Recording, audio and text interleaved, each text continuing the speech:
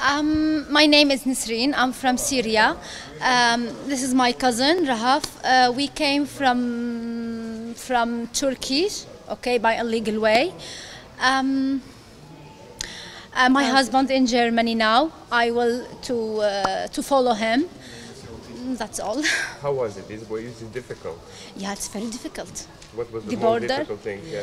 Um, I think the cold now. Going up the mountain. Yeah, That mountain. probably Yeah, the yeah. hardest Uh, past the the the the the the, uh, the sea by, by the rubber uh, boat. Raft. It's very very very very difficult. And dangerous?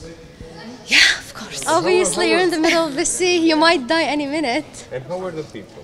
When Where? you see like Turkey, when you see Serbia, when you see Croatia. When you Okay. see the, the death in Syria, okay, you can do anything to, to, to run away because the, the situation in Syria is very miserable, really, really, really. Very, very, very miserable. okay, and what is your goal now?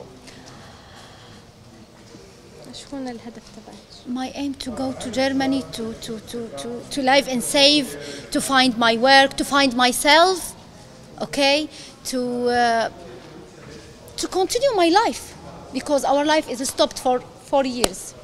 And what do you think for the last question? How many people is on your way, the similar way as you and your family? I don't know.